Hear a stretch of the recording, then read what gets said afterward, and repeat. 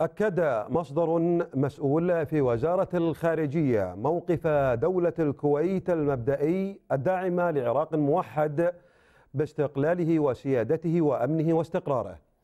وأعرب المصدر عن تمنياته بأن لا يؤثر الاستفتاء الذي جرى مؤخرا في إقليم كردستان على الجهود الجبارة التي يقوم بها العراق في تحرير أراضيه من براثن الإرهاب وما يسمى بتنظيم داعش.